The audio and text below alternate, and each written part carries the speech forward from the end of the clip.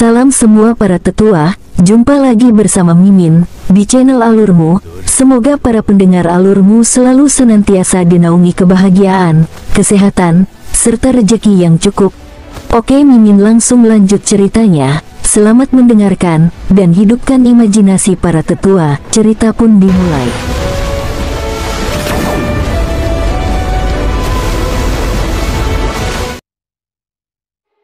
Keesokan pagi harinya, King Sui berjalan perlahan di jalanan di kerumunan orang, dan tiba-tiba, suara berisik terdengar. Pukul dia, pukul dia. Kutukan ini, suruh dia meninggalkan tempat ini. Jangan biarkan dia tetap di sini. King Sui penasaran. Dia ingin melihat apa yang terjadi. Sangat tiba-tiba, dia bisa merasakan aura yang sangat menindas, menyebabkan dia tercengang. Namun, Ketika dia melihat sumber aura itu, dia merasa lebih terkejut. Itu karena dia melihat seorang gadis kecil dengan pakaian compang-camping. Gadis inilah yang dikepung dan banyak orang yang melemparkan barang padanya, termasuk sayuran busuk. Dia pasti seorang gadis muda yang belum cukup umur. Tubuhnya sangat kecil, bajunya compang-camping, rambutnya berantakan. Dia kotor dari semua hal yang dilemparkan orang padanya dan bahkan ada beberapa orang yang melemparkan beberapa barang yang sedikit lebih berat padanya. Sial, dia masih anak-anak. Kalian seharusnya tidak memperlakukannya seperti ini. Dia tidak melakukan apa-apa, ucap seorang lelaki tua dengan rasa kasihan. Dia adalah reinkarnasi dari Sirius. Jika kita tidak mengusirnya, cepat atau lambat area ini akan menjadi mayat. Jika beberapa klan aristokrat mengetahuinya, mereka akan membunuhnya secara langsung. Kami melakukan ini untuk kebaikannya sendiri juga. Cepat pergi dan temukan tempat tinggal yang tenang. Benar, ini akan bagus untuk semua orang. Ucap para kerumunan. King Sui tidak bisa melihat seperti apa gadis itu. Alasan dia tercengang adalah karena aura yang menindas itu datang darinya. Sebelumnya, Ketika dia mendengar bahwa dia adalah reinkarnasi dari Sirius, dia mengingat Chiao dan Chi Feng yang dia temui di desa Gunung Giok. Dia pergi tanpa berpikir. Tertutup oleh sayuran busuk dan barang-barang yang dibuat memang membuat King Sui sedikit mengernyit, tetapi dia masih berjalan ke arah gadis itu. Aura merusak yang menindas yang menarik King Sui berbeda dari apa yang dia rasakan dari Chiao dan Chi Feng. Itu karena aura ini bahkan lebih menakutkan. Namun, yang membuat King Sui berjalan adalah siluet kesepian gadis itu. Pada saat itu, King Sui tidak bisa diganggu dengan hal lain, bahkan jika itu adalah aura yang dia pancarkan. Dia berjalan ke arah gadis itu, menyebabkan orang-orang di sekitarnya tercengang dan mereka berhenti melempar barang ke gadis kecil itu. Gadis kecil itu menunduk dan sedikit menggigil. Dia mengangkat kepalanya dan melihat King Sui. Matanya hitam pekat dan dingin, memberikan King Sui dan perasaan yang tak terlukiskan, membuatnya merasa itu sedikit suram. Matanya terlalu menakutkan karena kurangnya emosi di dalamnya. Dia seharusnya hanya berusia sekitar 13 atau 14 tahun. Gadis itu melihat King Sui ditutupi sayuran busuk dan bertemu dengan tatapan tenangnya. Dia masih muda tetapi telah melihat terlalu banyak tatapan. Tatapan orang ini adalah salah satu yang hanya dia sendiri pernah lihat sebelumnya. Apa Anda mau ikut dengan saya? Saya dapat membantu Anda memenuhi keinginan Anda, King Sui tersenyum dan berkata dengan serius. Kata-kata King Sui menyebabkan keributan pecah di antara kerumunan. Anak muda, dia adalah reinkarnasi dari Sirius. Tidak akan lama sebelum kekuatan dalam dirinya terbangun dan dia akan membunuhmu. Anak muda, saya tahu Anda melakukan ini karena niat baik, tetapi Anda tidak boleh gegabah. Ucap orang tua dari sebelumnya menghela nafas. Kim Sui hanya melihat gadis itu. Sebelumnya, dia secara tidak sadar menolak perilaku bullying seperti itu karena kincing. Setidaknya, saat ini, gadis kecil ini sangat lemah. Dalam arti tertentu, bagi mereka untuk bertemu di tempat yang sepi ini adalah takdir. Gadis, ikut aku dulu. Anda dapat pergi kapan pun Anda mau. Bagaimana dengan itu? Kim Sui berkata dengan lembut. Ketika gadis itu melihat bagaimana King Sui dikotori oleh sayuran yang membusuk, sedikit ekspresi aneh muncul di tatapannya. Saat dia melihat senyum hangatnya, dia mengangguk dengan lembut. King Sui tersenyum dan mengulurkan tangannya. Gadis itu tertegun sejenak sebelum dia mengulurkan tangannya yang kotor untuk mengambil tangan King Sui. Mereka kemudian berbalik dan pergi, mengabaikan diskusi sekitar, gangguan dan suara kasihan. Adegan yang sangat tidak harmonis muncul. Itu adalah King Sui dan gadis itu. Seorang wanita diam-diam melihat pemandangan ini dari jauh. Dia mengenakan pakaian longgar tetapi ditutup dengan baik. Dia juga mengenakan topi bambu, membungkus dirinya dengan lapisan pakaian bela diri. Namun, banyak orang masih melihat ke arahnya.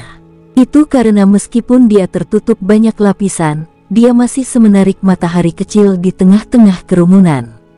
Pakaiannya yang longgar tidak bisa menyembunyikan lekuk tubuhnya yang lembut atau cara dia berjalan.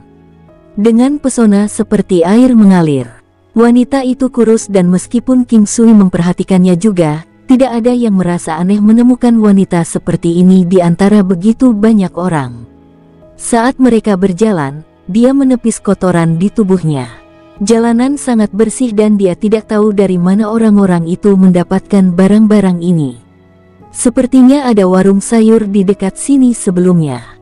King Sui membawa gadis itu kembali ke toko pandai besi dan telah membeli pakaiannya dalam perjalanan pulang. Setelah mencapai toko pandai besi, dia menyuruhnya mencuci dan mengganti pakaiannya. Gadis itu mengambil pakaian itu darinya dan menatapnya sekilas. Masih tidak ada fluktuasi dalam pandangannya dan dia belum mengucapkan sepatah kata pun sejak awal. Dia bahkan tidak membuat satu suara pun. Lanjutkan. King Sui tersenyum dan mendorongnya. Gadis itu masuk dan King Sui pergi untuk membersihkan juga. Hanya saja dia melakukannya dengan sangat cepat dan setelah itu dia mulai memasak. Dia sudah makan tapi sekarang membuatkan untuk gadis itu. Ketika gadis itu keluar, King Sui sedang memasak. Saat dia berdiri di pintu dapur, King Sui menoleh untuk melihatnya dan kemudian tertegun lagi. Wajah gadis itu pucat dan matanya kosong dan hampa emosi. Yang terpenting, dia memancarkan aura merusak yang menakutkan dan luar biasa. King Sui terkejut bagaimana dia bisa memiliki aura merusak yang begitu kuat. Adapun penjelasan bahwa dia adalah reinkarnasi Sirius, King Sui merasa itu omong kosong. King Sui mengeluarkan liontin giok dan dengan lembut meletakkannya di lehernya. King Sui bisa mencium aroma ringan yang datang darinya dan dia tersenyum dan menepuk kepalanya, tunggu di aula. Ini akan segera siap, ucap King Sui. Tidak ada perubahan pada ekspresi gadis kecil itu. Namun, dia melihat King Sui lagi, mengangguk dan kemudian menuju ke aula. King Sui mengeluarkan dua sayuran dan dua hidangan daging, serta sup. Kamu pasti lapar, makanlah. King Sui duduk di hadapannya dan berkata dengan lembut. Gadis itu tidak mulai makan tetapi melihat ke arah King Sui, berbicara setelah sekian lama berlalu, mengapa? Ketika dia berbicara, gigi putih saljunya yang indah terungkap. Namun, suaranya sedikit kasar dan kaku. Seharusnya itu karena dia sudah lama tidak berbicara. Kenapa kamu memperlakukanku dengan baik? Gadis kecil itu sepertinya takut King Sui mungkin tidak mengerti dan bertanya lagi.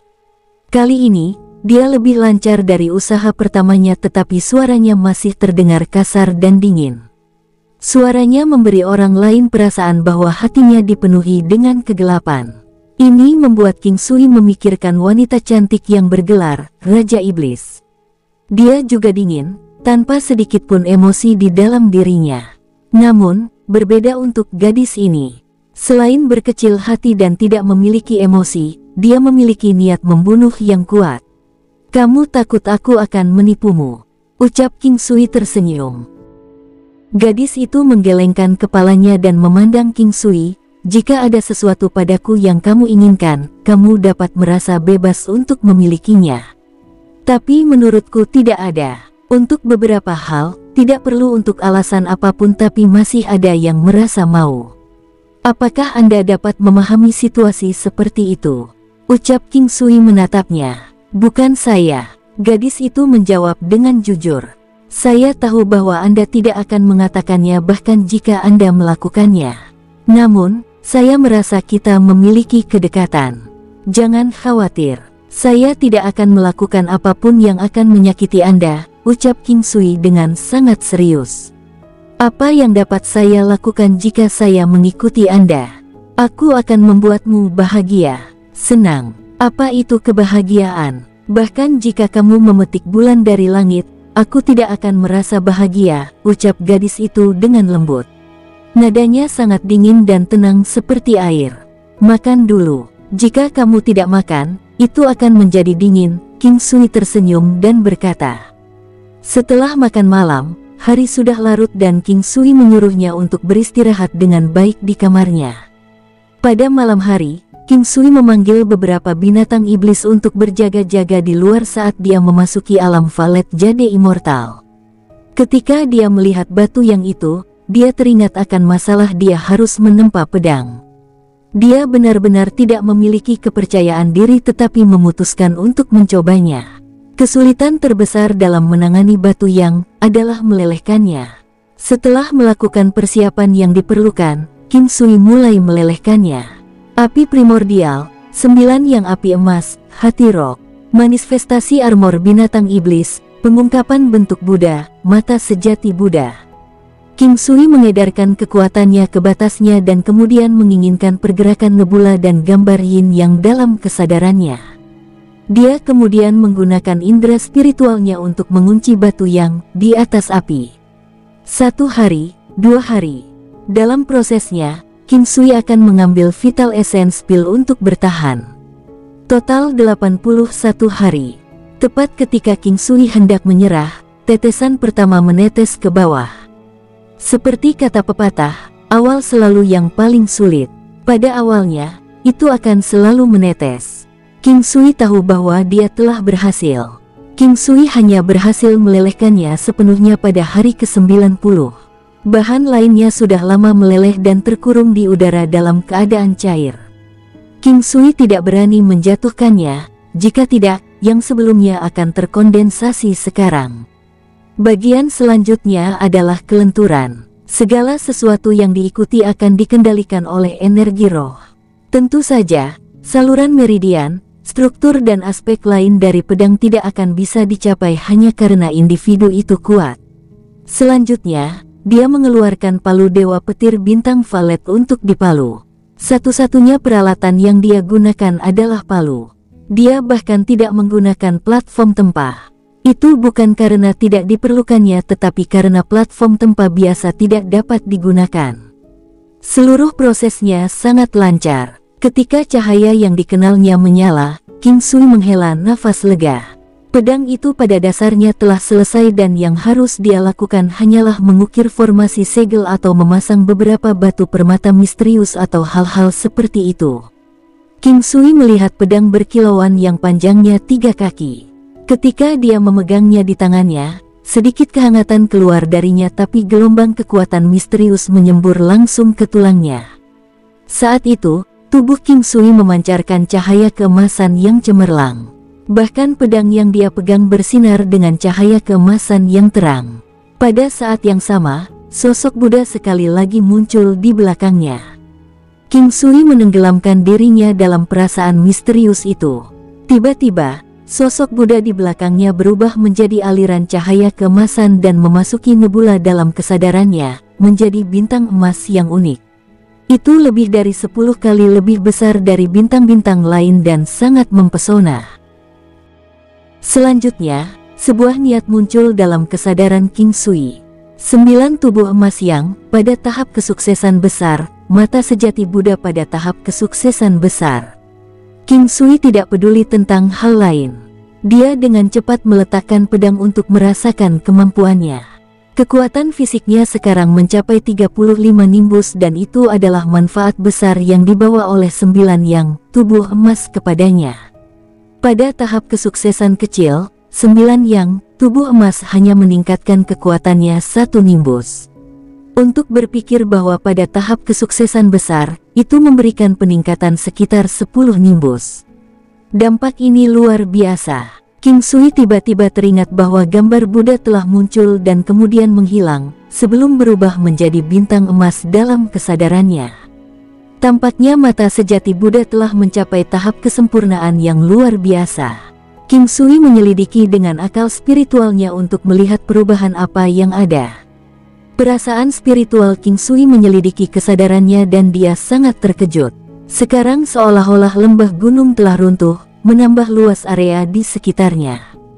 Pelet tujuh warna dalam kesadarannya mulai berputar dengan cepat, seolah perlahan meningkatkan energinya. Demikian pula, energi pelet tujuh warna dan pelet emas juga meningkat. Tiba-tiba, pesan besar muncul. King Sui berdiri di sana dengan linglung. Dia tercengang karena bahkan dia sendiri tidak yakin apakah ini hal yang baik atau buruk. Kekuatan fisiknya akhirnya mencapai 35 nimbus. Dia melanjutkan untuk merasakannya hanya untuk menemukan bahwa pelet tujuh warna telah membantunya meningkatkan kekuatan fisiknya sebanyak 15 kali. Sayangnya, patung Buddha berubah menjadi bintang emas di lautan kesadarannya. Tetapi sebagai gantinya, King Sui sekarang dapat memanfaatkan formasi nebula ilahi untuk menyerang. Banyak informasi dalam pesan yang muncul dalam kesadarannya sebelumnya adalah tentang formasi nebula ilahi. Golden Pellet dalam dantiannya mampu membantu menggandakan kekuatannya. Tidak hanya itu, itu juga merupakan peningkatan pasif, dengan kata lain, itu adalah peningkatan permanen. King Sui dapat meningkatkannya kapan saja dia mau.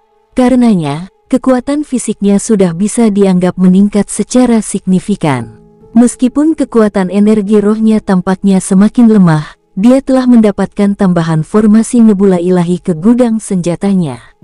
Kekuatan fisik yang bernilai 35 nimbus mempertimbangkan 15 kali lipat peningkatan kekuatan yang diberikan oleh pelet tujuh warna. Kekuatan fisiknya telah mencapai hampir 27.000 nimbus.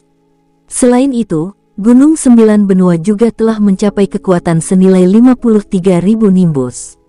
Mungkinkah apa yang biasanya orang katakan sebagai apa yang kalah di ayunan, kamu sampai di bundaran?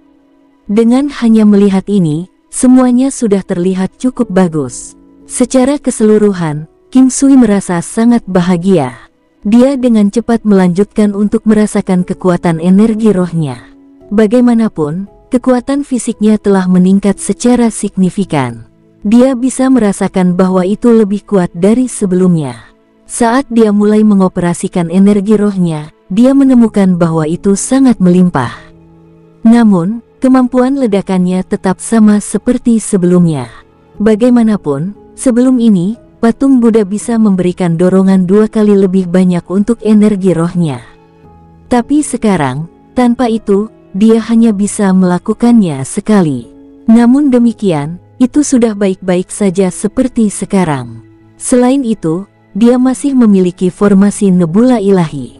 Formasi Divine Nebula adalah formasi pembunuhan yang terbentuk dengan cepat ketika energi roh meniru bintang-bintang di langit.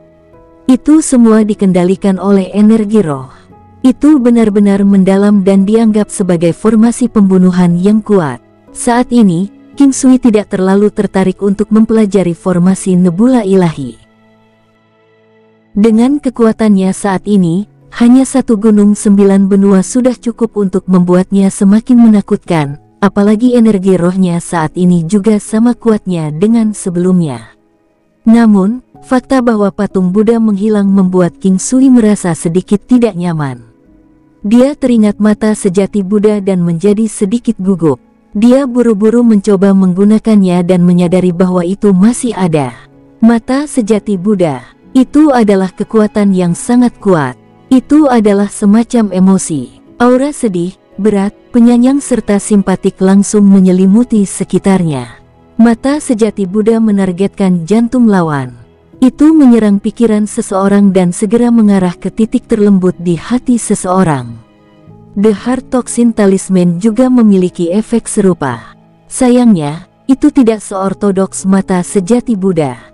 Jika ada orang luar yang hadir ketika King Sui menggunakan mata sejati Buddha, dia pasti akan merasa bahwa King Sui seperti gunung tinggi yang tidak dapat dilewati, membuat dirinya merasa tertekan secara spiritual baik secara fisik maupun mental. Tentu saja, jika itu adalah seseorang yang jauh melebihi King Sui dalam hal kekuatan, persentase keberhasilannya dengan mata sejati Buddha akan rendah. Selanjutnya, efeknya juga akan sangat berkurang. Ini adalah hukum yang tidak akan pernah berubah. Untuk saat ini, selain manifestasi armor binatang iblis, semua kekuatannya segera berubah menjadi teknik pertempuran pasif. Ini membuatnya merasa seolah-olah tubuhnya sekuat batu ilahi kapan saja. Namun, warisan kuno membantu menjaga auranya tetap tersembunyi dengan baik. Sangat sedikit orang yang bisa memeriksa kekuatan sejati King Sui. Benang darah valet dalam darahnya tampaknya menjadi sedikit lebih tebal. Ada energi agung di sekitarnya juga. Saat ini, King Sui tidak yakin tentang fungsi formasi nebula ilahi. Jika dia mengikuti aturan dari sebelumnya, kekuatan fisiknya akan berkurang setengahnya tetapi energi rohnya akan berlipat ganda. Tetapi ketika King Sui memikirkannya, dia pikir itu juga hasil yang cukup memuaskan. Meski kehilangan patung Buddha, butiran emas di dantiannya bahkan lebih kuat. Tidak hanya mengandung ki yang kuat dari teknik penguatan kuno dan kekuatan ilahi Valet Gold, itu bahkan bisa membantu meningkatkan kekuatannya satu kali lipat. Ini sudah di luar pengetahuan yang dimiliki King Sui terhadap teknik penguatan kuno. Singkatnya, King Sui sudah dianggap mendapatkan banyak hal kali ini. Alasan mengapa dia menerobos kali ini adalah karena dia menempa pedang batu yang itu adalah energi yang di dalam pedang yang memicu serangkaian perubahan dalam sembilan tubuh emas yang dia tiba-tiba berpikir tentang pedang batu yang King Sui dengan cepat mengeluarkan pedangnya. Dia ingat sebelumnya bahwa pada saat dia menerobos, pedang batu yang juga bersinar dengan cahaya keemasan. Dia tidak tahu apakah dialah yang menerobos lebih dulu atau pedang batu yang yang bersinar lebih dulu. Pada saat King Sui menggunakan teknik penglihatan surgawi untuk melihat pedang batu yang, dia sekali lagi membeku karena terkejut. Senjata kelas legendaris. Dia benar-benar telah memalsukan senjata legendaris. Meskipun, pada saat dia menerobos ke seni tempat pelangi warna heksa, dikatakan bahwa dia memiliki peluang kecil untuk menempa senjata legendaris, dia tidak pernah berpikir bahwa dia akan dapat melakukannya dengan begitu cepat. Mungkin ada hubungannya dengan batu yang. Sembilan pedang yang. King Sui terus membaca ke bawah. Ditempa dari batu yang dijiwai dengan primordial flame dan nine yang golden flame, mengandung kekuatan yang luar biasa, membantu meningkatkan kekuatan pengguna hingga 10 kali lipat, tingkatkan energi roh 5 kali lipat, kekuatan pertahanan mentah yang meningkat dua kali lipat termasuk pertahanan energi roh, pada saat pengguna menyerang, ada kemungkinan 20% kekuatan akan berlipat ganda. 9 yang, force, dapat melindungi pengguna dari beberapa efek negatif, misalnya dari racun. Ini membantu mengurangi konsumsi energi pengguna hingga 50% dan membantu menggandakan kecepatan pemulihan kekuatan. Bisa mengenali pemiliknya. Status belum mengenali pemiliknya. Inilah tepatnya senjata kelas legendaris itu. King Sui tahu bahwa dia benar-benar beruntung kali ini karena bisa menempa pedang sembilan yang. Sayangnya, pedang ini bukan miliknya. Juga, hanya pedang ini yang dapat membantu meningkatkan kekuatannya secara signifikan. Senjata legendaris tidak sekelas dengan senjata kelas tinggi. Senjata itu adalah senjata yang hanya ada di legenda. King Sui melihat pedang sembilan yang, saat dia dengan enggan meletakkannya. Dibandingkan terakhir kali, kali ini, dia merasa lebih impulsif untuk memiliki senjata ini. Terakhir kali, itu Yan Jingyu, King Sui berpikir lama dan memutuskan untuk bertindak bodoh lagi. Hukum tidak pernah bisa berubah, bagaimanapun juga, selalu dikatakan bahwa orang bodoh memiliki keberuntungan yang bodoh. Lupakan, karena King Sui merasa waktu hampir habis, dia memutuskan untuk hanya mengukir formasi segel besok. Pada saat King Sui keluar dari alam valet jadi immortal, langit sudah agak cerah. Ketika dia keluar, dia tidak terlalu mempermasalahkan matahari. Namun ketika dia tiba di halaman, dia melihat sesosok orang yang sangat kurus berdiri jauh. King Sui agak sedih melihat sosok kecil itu berdiri di sana. Kenapa kamu tidak tidur lebih lama? King Sui bertanya dengan lembut. Gadis itu berbalik, aku tidak bisa tidur. Oh, maka tubuhmu pasti terlalu lemah. Datang dan berlatih tinju denganku. King Sui menariknya ke halaman belakang sambil berbicara. Tangan gadis itu terasa sangat dingin. King Sui perlahan menyelidiki tubuhnya dengan indera spiritualnya. Awalnya, dia hanya ingin melihat apakah tubuhnya sehat tetapi setelah mengambil dua langkah, dia tiba-tiba berhenti. Berapa usiamu? King Sui bertanya. 15 tahun 10 bulan. Gadis itu menjawab dengan tenang. King Sui memegang tangannya dan sekali lagi berjalan menuju halaman belakang. Sebenarnya ada pil pemutusan darah di dalam tubuhnya. Pantas saja orang-orang memanggilnya inkarnasi Sirius. Alasan mengapa King Sui tahu tentang pil pemutusan darah adalah karena dia telah mendengarnya sebelumnya dari warisan kuno. Itu sebenarnya tidak seperti inkarnasi Sirius. Itu adalah pil yang terbentuk dari kebencian yang sangat kuat, aura mengerikan dan aura yang merusak. Pada saat gadis itu mencapai usia dewasa, biasanya, pada usia 16 tahun, itu akan meledak gadis itu kemudian akan berubah menjadi sesuatu yang menyerupai iblis. Dia akan terlahir kembali menjadi makhluk baru dan kekuatannya akan meningkat pesat. Ketika itu terjadi, dia akan sangat haus darah dan hanya bisa menemukan kedamaian melalui pembunuhan. King Sui tidak tahu apakah ini nyata. Tapi sekarang, karena dia sudah bisa sampai di sini, apalagi yang tidak bisa dia percaya. King Sui mulai melatih tinju tai chi-nya perlahan. Dia menjelaskan teknik sambil mempraktikkannya. Dia tidak tahu apakah gadis itu akan belajar darinya tetapi dia pasti akan mengajarinya. Tai Chi membantu menumbuhkan pikiran dan karakter moral seseorang. Itu juga membantu memediasi pikiran seseorang dan membuat orang rileks baik secara fisik maupun mental. King Sui merasa bahwa dia harus membuatnya mempelajarinya. Oleh karena itu, dia dengan sabar melatih tinju sambil menjelaskan kepada gadis itu lagi dan lagi. Satu kali, dua kali, seratus kali, itu sudah lewat pagi, namun King Sui masih terus menjelaskannya. Dia mencoba menjelaskan setiap kata di dalamnya dan menunjukkannya padanya. Selama ini, dia terlihat sangat tenang. Gadis itu sedikit menundukkan kepalanya. Setelah itu, dia mulai melakukan gerakan tangan meningkat tai chi. Dia melakukan teknik satu persatu dan tampaknya memiliki bakat besar untuk itu.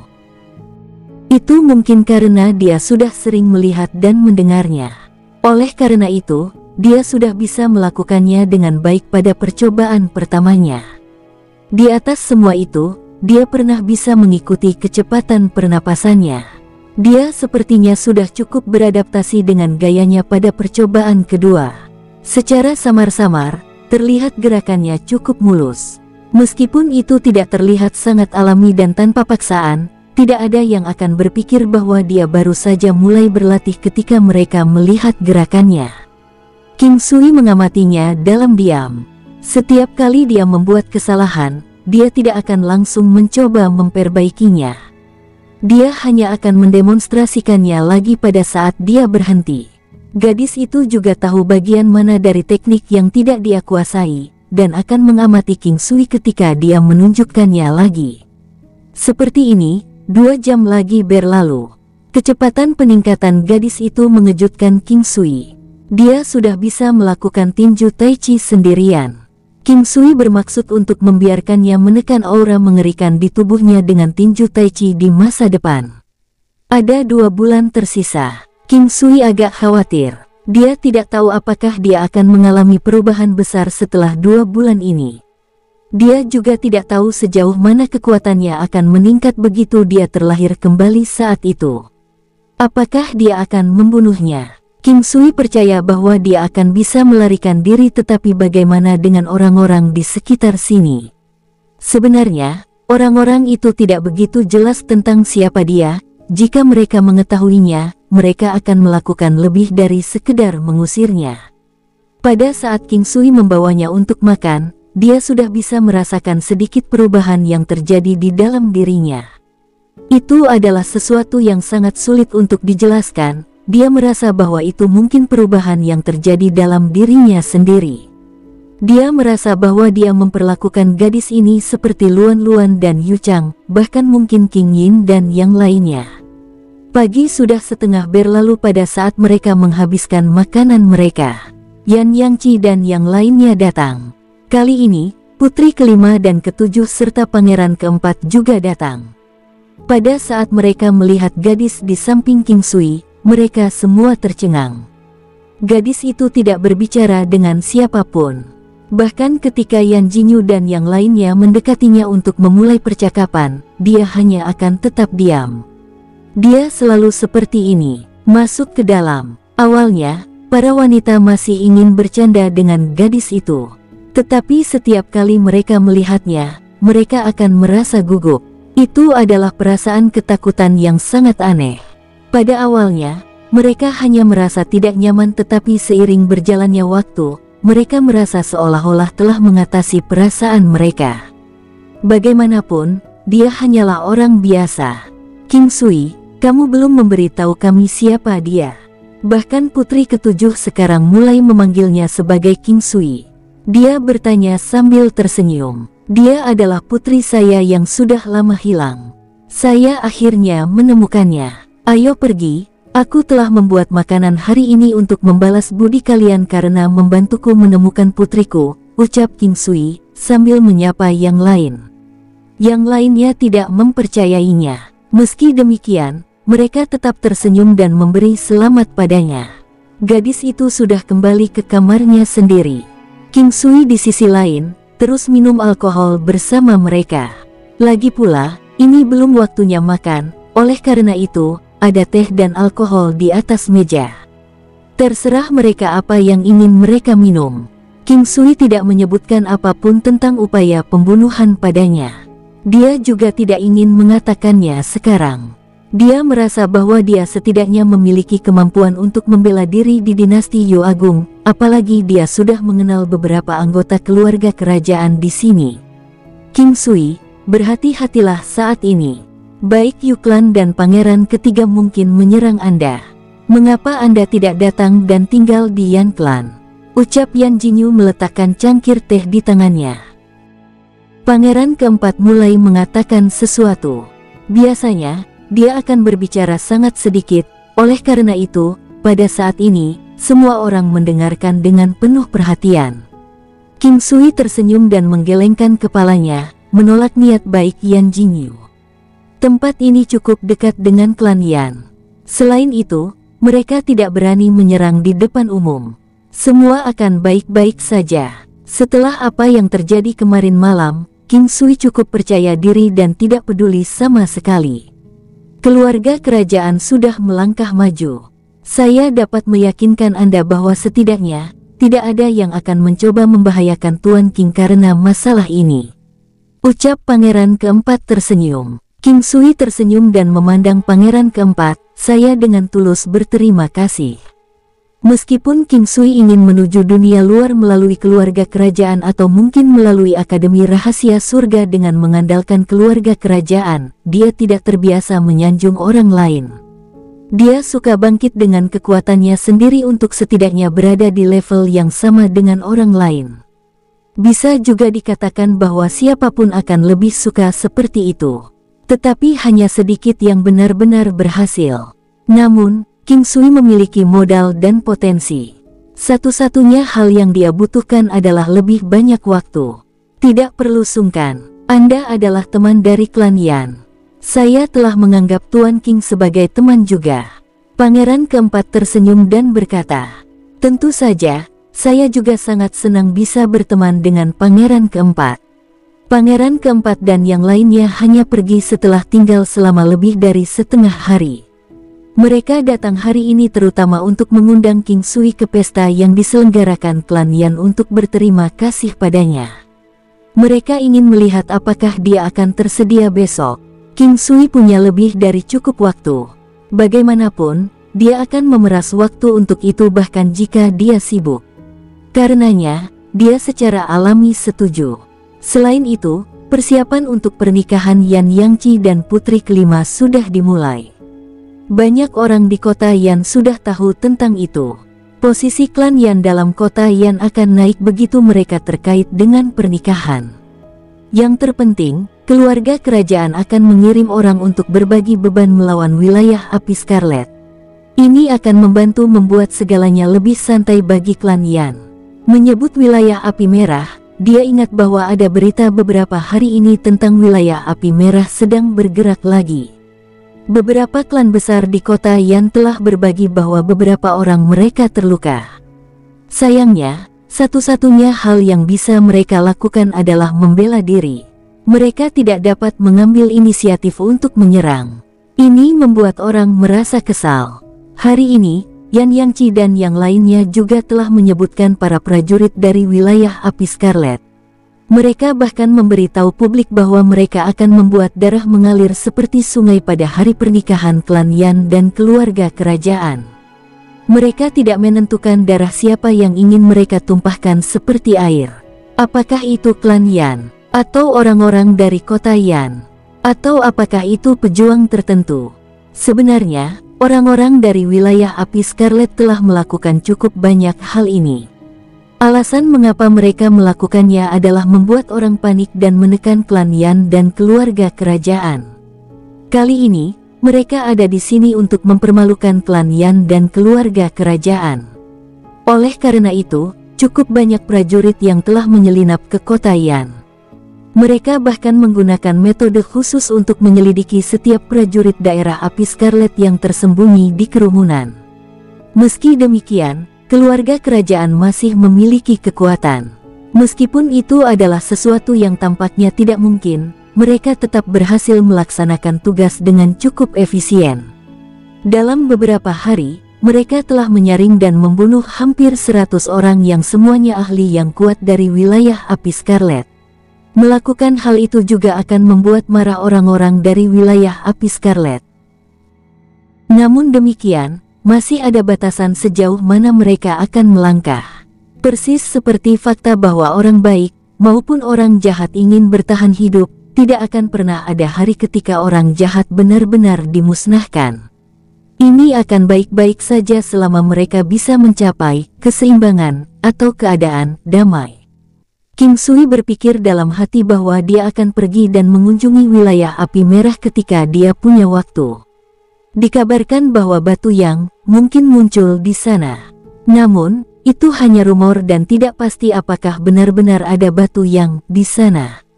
Yang paling mengkhawatirkan King Sui saat ini adalah gadis yang asalnya tidak diketahui ini. Jika itu cepat, pil pemutusan darah akan benar-benar terbangun dalam dirinya dalam dua bulan.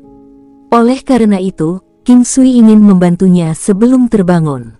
Karena King Sui tidak ada hubungannya di sore hari, dia langsung menarik gadis itu untuk berlatih teknik tinju dengannya. Dia juga akan membantunya merawat tubuhnya. Hanya jika tubuhnya cukup kuat, rasa sakitnya akan berkurang saat pil terbangun. Dia memperkuat meridiannya, Constitution Nurturing, Rainbow Troutfish, serta beberapa pil obat. Sedikit demi sedikit, King Sui memperbaiki tubuhnya. Metode utama yang dia gunakan adalah akupuntur. Kekuatannya meningkat, sembilan tubuh emas yang mencapai tahap kesuksesan besar. Selain akupuntur lima elemen, akupuntur pemeliharaan konstitusional dan banyak lagi, dia bahkan memperoleh sesuatu yang disebut akupuntur jarum emas sembilan yang. Sembilan energi yang benar-benar misterius. Dunia terbagi menjadi yin dan yang, dan begitu pula manusia. Terlepas dari apakah mereka pria atau wanita, mereka masih terbagi menjadi yin dan yang. Hanya dengan memadukan yin dan yang, seseorang akan menjaga keseimbangan di dalam tubuh. Jarum emas sembilan yang dapat mengatur energi yang di dalam tubuh seseorang. Jika terlalu tinggi, itu bisa menguranginya.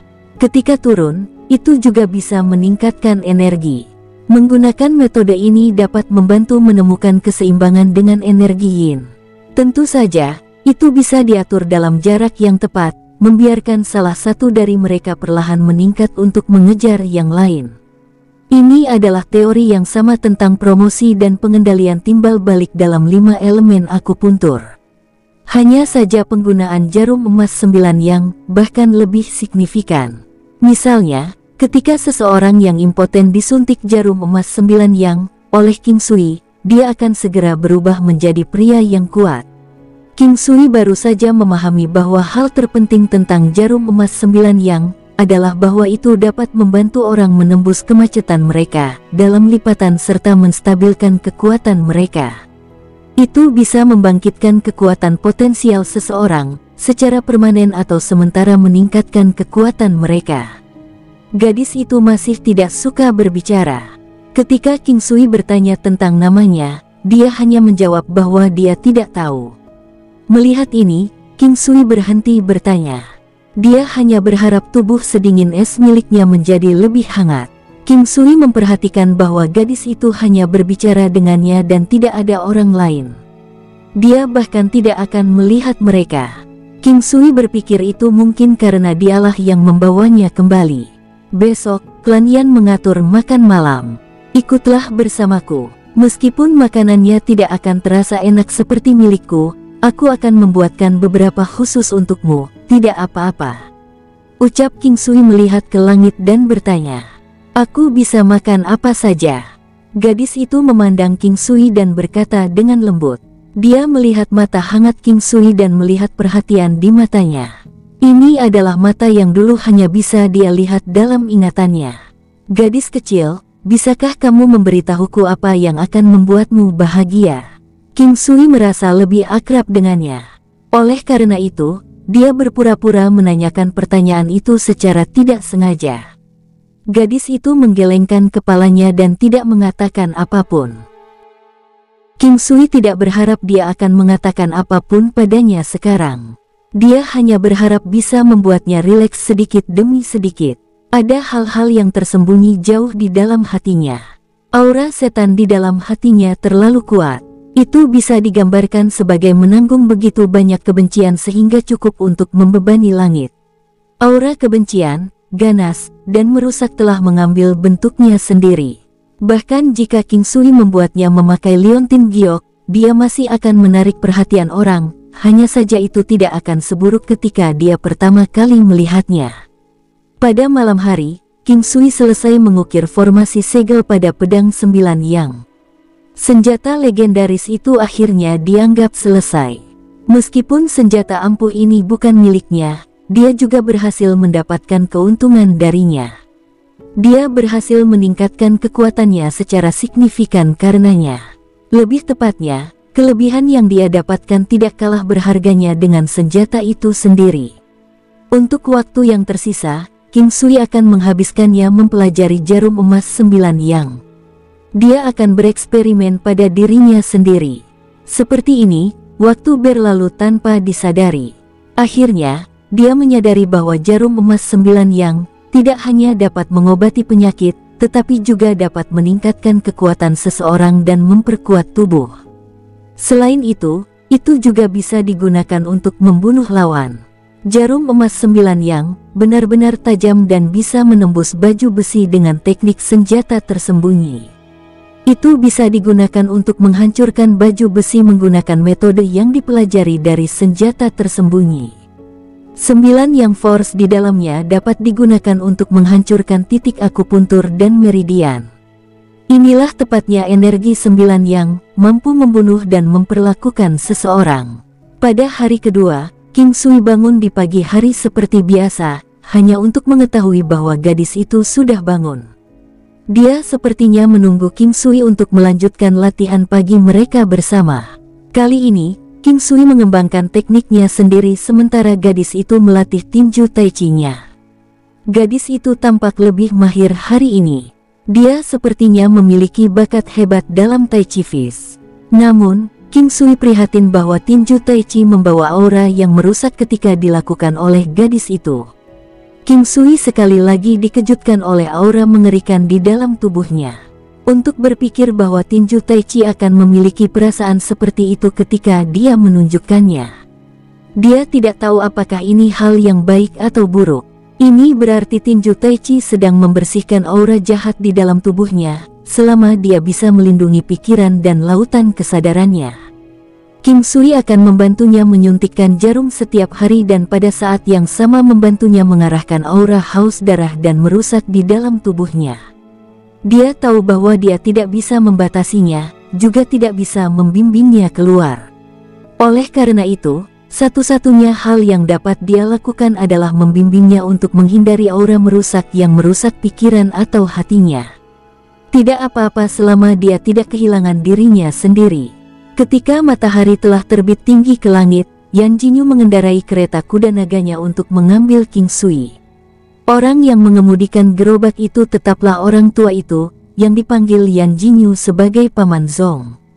Bersama Yan Jinyu, ada juga putri ketujuh dan Yan Yang Zhao. Namun, Yan Yang Zhao sedang duduk di luar dan mengobrol dengan Paman Zong.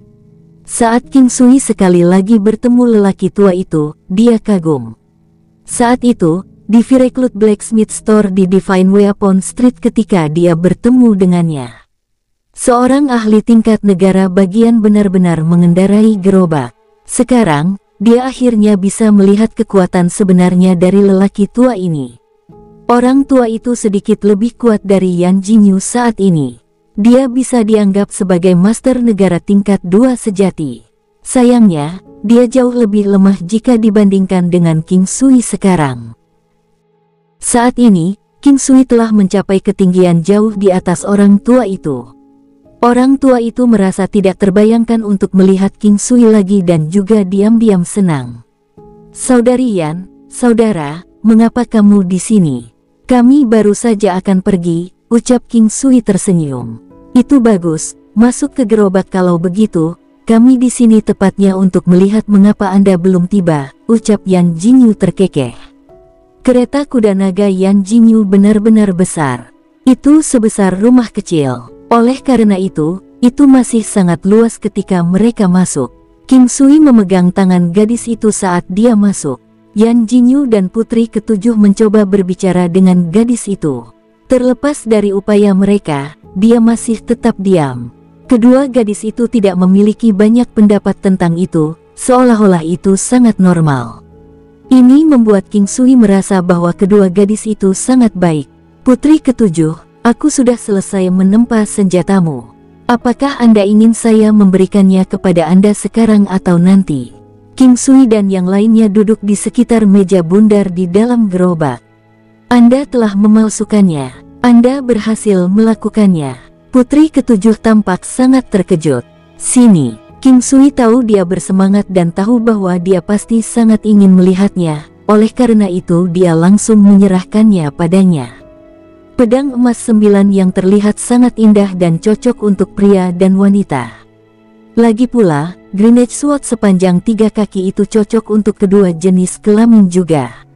Seriusnya, ada juga seniman bela diri wanita yang menggunakan palu besar, kapak dan senjata berat jenis lain, hanya sedikit yang melakukannya.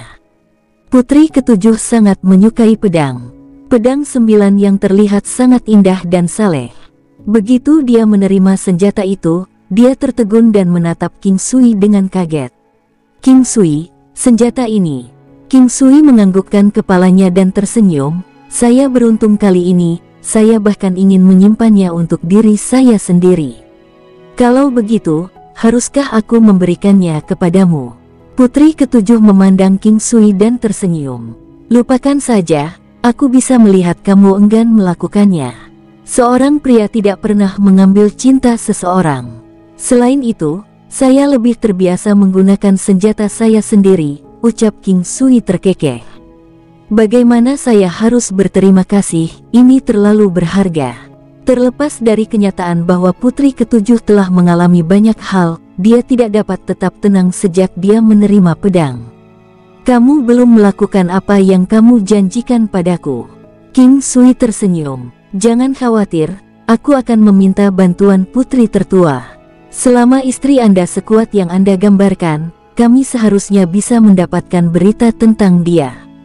Mata putri ketujuh berbinar ketika dia menyebut putri tertua. Ketika King Sui mendengar putri tertua disebutkan sekali lagi, dia tersenyum dan bertanya, apakah dia datang untuk pernikahan putri kelima. Hehe, kamu benar tapi di saat yang sama juga salah. Ucap putri ketujuh tersenyum. Dia terlihat sangat cantik. Itu adalah keindahan yang tenang.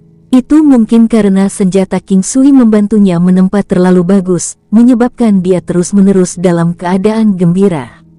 Bagaimana itu bisa benar dan salah? Karena hari pernikahan sengaja ditetapkan pada hari putri tertua kembali, daripada dia kembali untuk pernikahan. Putri ketujuh tersenyum saat dia menjelaskan. King Sui mengerti sekarang. Putri tertua benar-benar memiliki status yang dihormati. Apakah senjata ini kuat? Yan Jinyu bertanya dengan bingung. Baik Yan Yang Zhao dan dirinya sendiri sangat penasaran.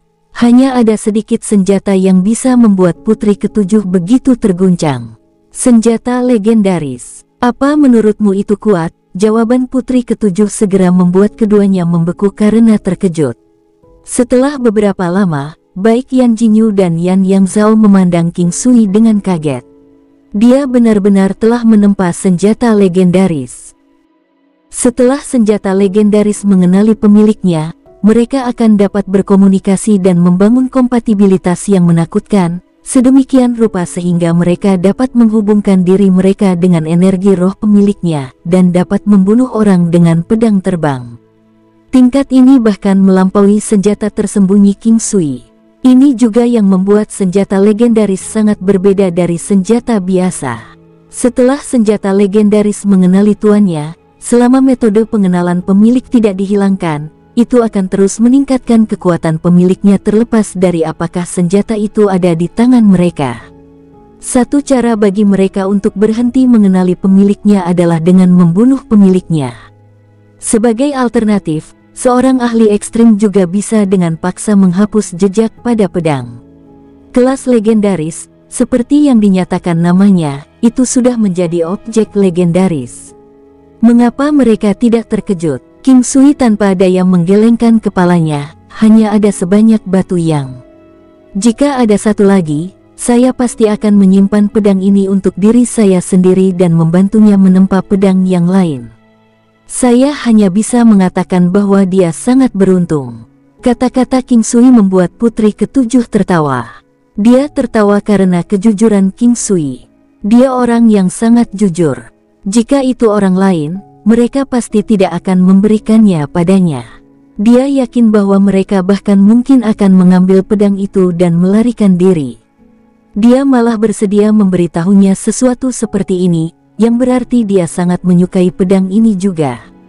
Mempertimbangkan bahwa dia bisa memberinya pedang meskipun dia sangat menyukainya, ini berarti dia adalah orang yang jujur dan sangat berprinsip. Orang seperti ini layak untuk diajak berteman. Ini adalah senjata legendaris pertama yang saya tempa. Saya tidak tahu kapan saya bisa menempa yang lain. King Sui berkata sambil tersenyum, percaya bahwa mereka akan tahu apa yang dia maksud. King Sui tidak ingin orang lain tahu bahwa dia bisa menempa senjata legendaris. Jika para ahli mencarinya untuk menempa senjata legendaris, itu akan mempersulitnya. Aku tahu, Aku tidak akan memberitahu siapa pun dan menyebabkan orang lain mempersulitmu, ucap putri ketujuh tersenyum cerdas. Tapi apakah Anda tidak ingin orang tahu tentang Anda? Ini adalah kesempatan yang sangat baik bagi Anda untuk meningkatkan reputasi Vireclut Blacksmith Store. Putri ketujuh bertanya sambil terus berbicara. Saat ini, saya masih kekurangan kekuatan untuk melindungi diri saya sendiri. Jika orang-orang dengan niat buruk mengetahui tentang ini, saya mungkin dicuri, jawab King Sui tersenyum. Kedua gadis itu tertawa ketika mereka mendengar apa yang dia katakan. Saat itu juga, mereka berdua tampak seperti bunga yang baru saja mekar. Kecantikan yang mereka tunjukkan sangat menarik. King Sui diam-diam menghindarinya. Gadis itu masih di samping King Sui. Dia tidak berbicara dan tidak tertawa. Namun, Orang merasa sangat alami tentang itu karena dia telah bertindak seperti ini sejak awal. Mereka tiba di klan Yan dengan sangat cepat, kereta kuda naga langsung menuju klan Yan. Ketika berhenti, mereka turun dari gerobak. Hanya dalam waktu singkat, orang-orang dari klan Yan, termasuk Yan Dingtian keluar. Kali ini, King Sui dapat secara samar-samar merasakan kekuatan Yan Dingtian meskipun dia masih tidak yakin dengan level yang tepat. Setelah melihat King Sui, mata Yan Dingtian cerah dan memiliki ekspresi terkejut dan tertahan. King Sui juga merasakannya. Dia tahu bahwa peningkatan kekuatannya membuatnya agak ketakutan atau khawatir. Yang terpenting, King Sui benar-benar melihat jejak niat membunuh di matanya. King Sui benar-benar tidak nyaman di bawah tatapan Yan Dintian. Meski demikian, dia tetap menyapanya dengan senyuman. Dia sadar bahwa dia akan segera pergi, kemungkinan besar setelah pernikahan Yan Yangji. King Sui, kamu di sini, ayo jalan-jalan bersama. Ini semua berkat Anda bahwa klan Yan berhasil lolos dari penderitaan. Yan Dingtian dengan hangat menarik King Sui. Bahkan sekarang, King Sui tidak dapat mengetahui apa yang dipikirkan Yan Dingtian. Para ahli seperti dia sering kali sangat tidak terduga. Selama ini, dia memiliki kesan yang baik tentang Yan Dingtian. Hanya, niat membunuh sesaat telah bocor tanpa disadari. Mungkin itu normal tapi bagaimanapun, dia sudah punya pikirannya sendiri. King Sui sadar bahwa dia telah merebut banyak reputasi klan Yan ketika dia mewakili mereka. Dia memperlakukan klan Yan sebagai temannya hanya karena Yan Jingyu dan yang lainnya. Dia tidak benar-benar memiliki hubungan dengan para senior klan Yan. King Sui sudah memperlakukan pesta ini sebagai jamuan pulang pergi. Paling-paling, dia mungkin berkunjung sekali lagi selama pernikahan Yan Yangji. Sebenarnya dia tahu sejak awal bahwa dia hanyalah seorang musafir yang lewat. Jika ada sesuatu yang dia ingat, itu adalah Yan Jingyu karena dia adalah saudara perempuan sumpahnya. Karena mereka sudah saling mengakui, apa pun alasannya, mereka telah bersujud ke langit dan bumi. Selama diizinkan, mereka akan menjadi saudara laki-laki dan perempuan selamanya. Tidak ada yang tahu apa yang dipikirkan King Sui di dalam hatinya. Dia juga tahu bahwa Yan Dingtian pasti tidak akan bertindak melawannya. Namun, ini adalah masalah umum dalam klan aristokrat. Klan aristokrat akan membatasinya, menyebabkan King Sui menghilangkan pikiran memiliki hubungan dekat dengan seluruh klan Yan. Pesta keluarga kali ini sangat harmonis. Mata Yan Dingtian sekali lagi bergetar ketika dia melihat gadis kecil itu. Dia bertanya pada King Sui siapa dia. King Sui secara acak menemukan alasan untuk menghindari pertanyaan itu. Yan Dingtian menyapa gadis kecil itu tetapi gadis kecil itu tidak menanggapi.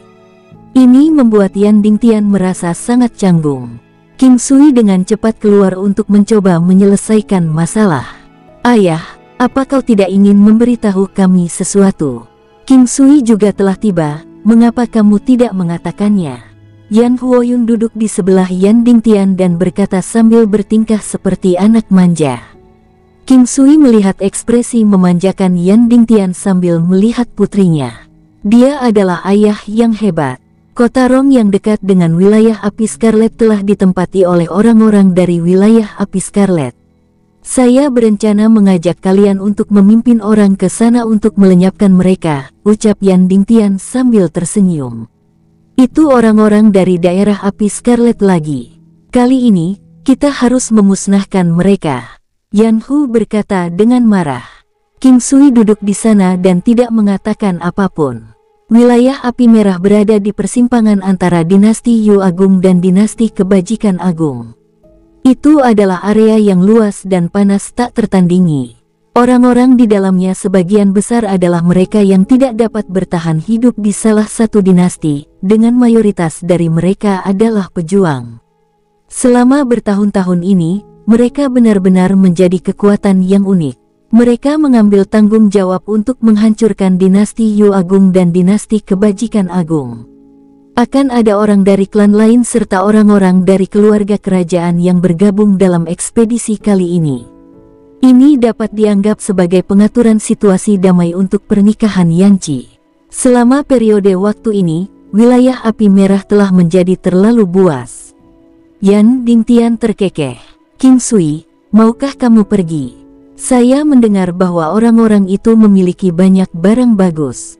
Mereka bahkan mungkin memiliki sepotong kecil batu yang Ucap putri ketujuh tersenyum saat dia melihat King Sui. Sudah disebutkan bahwa ini untuk mengatur situasi damai untuk pernikahan Yan Yangji. Karena itu, King Sui tidak dapat menurun. Bagaimanapun, dia juga ingin melihat orang-orang dari wilayah api Scarlet. Jika dia beruntung, dia mungkin bisa mendapatkan beberapa benda yang layak. Karena semua orang akan pergi, tentu saja aku harus pergi demi pernikahan saudara Yan, ucap King Sui sambil tersenyum. Mereka setuju untuk berangkat dalam dua hari. Setiap orang akan mengambil dua hari ini untuk beristirahat dan mengatur ulang, sementara mereka menunggu sisanya berkumpul sebelum menuju ke kota Rong bersama. Setelah perjamuan berakhir, Yan Dingtian dan yang lainnya pergi. Putri ketujuh memandang King Sui dan berkata dengan lembut, King Sui, bisakah aku memberikan pedang itu kepada orang lain? Dia berbicara dengan sangat lembut, seolah-olah dia takut King Sui tidak mau mengizinkannya. Ini juga membuatnya merasa aneh. Itu milikmu. Tentu saja tidak apa-apa selama kamu mau. King Sui menanggapi setelah berhenti sejenak. Dia tidak pernah membayangkan bahwa seseorang akan benar-benar memberikan senjata sekuat itu kepada orang lain setelah mereka mendapatkannya. Terima kasih, ucap putri ketujuh dengan gembira. Oh, saya mengerti. Putri tertua, King Sui berkata sambil tersenyum. Awalnya, dia mengira putri ketujuh sedang memberikan pedang kepada putri tertua untuk menanyakan kabar tentang Chen. Namun, dia menyadari dia telah melebih-lebihkan dirinya sendiri ketika dia melihat senyumnya. Dia dengan senang hati memberinya itu, begitu banyak sehingga dia senang memberikannya padanya. Dia tahu bahwa putri sulung dan putri ketujuh lahir dari ayah dan ibu yang sama. Dan justru karena putri tertua itulah putri ketujuh memiliki status yang begitu tinggi sehingga pertarungan antara para pangeran tidak akan membahayakannya. Putri ketujuh tidak mengatakan apa-apa tetapi ada senyum bahagia di wajahnya. Oh ya, pernahkah kamu bertarung melawan orang-orang dari wilayah api Scarlet? Saat Kim Sui sedang berbicara, yang lain juga berjalan. Orang-orang dari wilayah api Scarlet memiliki kekuatan militer yang sangat tidak teratur. Mereka juga memiliki banyak prajurit yang kuat atau mereka akan lama disingkirkan oleh dinasti Yu Agung dan dinasti Kebajikan Agung, jawab Yan Yangji. King Sui mengerti bahwa orang-orang dari wilayah api Scarlet harus memiliki prajurit yang sangat kuat untuk mengawasi mereka. Di masa lalu, dia telah mendengar bahwa tidak hanya bagian terdalam dari wilayah api Scarlet yang tidak tercakup dalam panas terik, tapi juga memiliki iklim yang baik sepanjang tahun dengan pemandangan yang mempesona. Dikatakan bahwa ada sekte di sana yang disebut Sekte Api Scarlet. Alasan mengapa orang-orang dari wilayah tersebut dapat bertahan sampai sekarang justru karena sekte tersebut. Beberapa hal sangat mendalam, misalnya, keberadaan seseorang adalah hal yang sangat normal, sama ketika seseorang meninggal. Mungkin karena inilah dinasti Yu Agung, dinasti kebajikan agung, serta sekte api merah tidak membuat gerakan besar apa pun. Di masa lalu, kedua dinasti pernah mengatur pasukan besar prajurit yang kuat untuk memasuki wilayah api Scarlet. Namun, kurang dari 10% dari mereka berhasil kembali. Itu juga setelah waktu itu mereka menemukan wilayah api Scarlet memiliki sekte. Selain itu, ada juga beberapa oasis di wilayah api Scarlet. Sejak saat itu, selama orang-orang dari wilayah api Scarlet tidak menimbulkan masalah, perkelahian biasanya tidak akan terjadi. Bagaimanapun juga, wilayah api Scarlet yang mengadakan inisiatif. Kali ini, mereka menduduki kota Rong. Baik dinasti Yu Agung dan kota yang tidak bisa hanya tinggal diam, oleh karena itu mereka akan memberi mereka pelajaran. Melalui ini, King Sui menemukan bahwa sekte api Scarlet tidak bisa dikacaukan, begitu banyak sehingga ada banyak implikasi lainnya. King Sui membawa gadis itu kembali ke toko pandai besi. Dalam dua hari, dia akan pergi ke kota Rong. Karena itu dia bermaksud untuk menempatkan gadis itu di klan Yan. Gadis kecil, dalam dua hari, maukah kamu tinggal di klan Yan selama beberapa hari dan menungguku kembali? King Sui bertanya sambil kembali. Tidak, Jawabannya mengejutkan King Sui. Jika dia tidak ingin tinggal di klan Yan, apakah dia harus membawanya? Aku akan mengikutimu ke mana pun kamu pergi, gadis itu memandang King Sui dan menjawab dengan kaku seperti sebelumnya. Baiklah baiklah, kita akan pergi bersama. Apakah kamu tidak takut bahaya? Tanya King Sui. Tidak banyak yang bisa membuatku takut lagi, jawab gadis itu. Gadis itu terkadang menyembunyikan makna dalam kata-katanya. King Sui bisa mengerti apa yang dia katakan, tetapi dia hanya bisa menebak bahwa gadis itu seharusnya mengalami peristiwa tragis dalam hidupnya. Kalau tidak, dia tidak akan memiliki kebencian yang kuat, aura yang kejam dan merusak. Bersambung, sampai jumpa di episode berikutnya. Semoga kalian semua terhibur. Terima kasih, bye-bye.